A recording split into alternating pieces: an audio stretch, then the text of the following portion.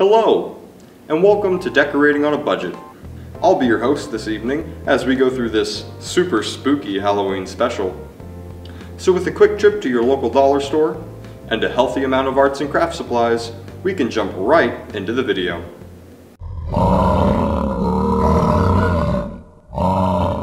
The first thing you need to know is that cutting out or painting on a spooky face to your household objects is a fun and inexpensive way to help spookify your house.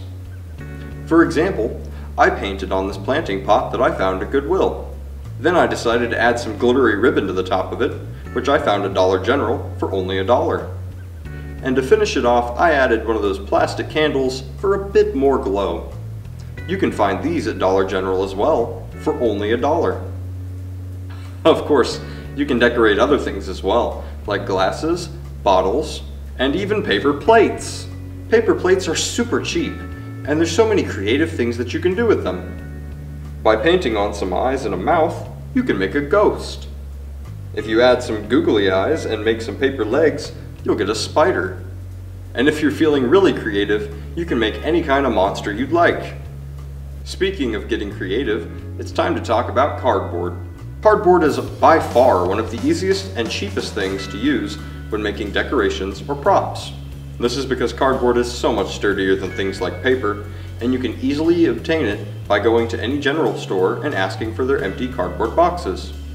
Now I've seen all sorts of projects online, like cardboard pumpkins, maybe cardboard tombstones, and even cardboard haunted houses. But since we're trying to keep things simple, I found that cardboard silhouettes are a cheap and easy way to stay spooky while on a budget.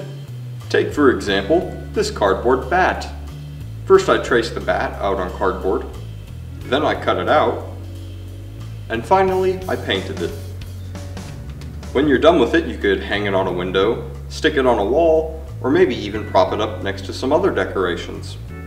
So far, the things I've showed you have been fairly simple crafts that might even make a great craft day with kids.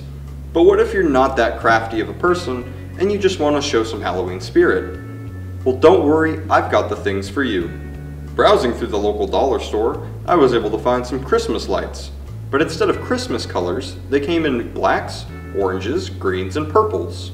Now you could hang these outside just like Christmas lights, or you could try to incorporate them inside. For example, I was able to hang them behind my desk so I can feel the spooky vibes even when I'm browsing my computer. And of course, it wouldn't be Halloween without fake spider webs. These webs are pretty cheap, and they can help pull together just about any setup. Well, I'm afraid that's all the time we have today for decorating on a budget, but I'm hoping that something in here strikes some creativity in you to go decorate for the Halloween season. And this is your host, signing off.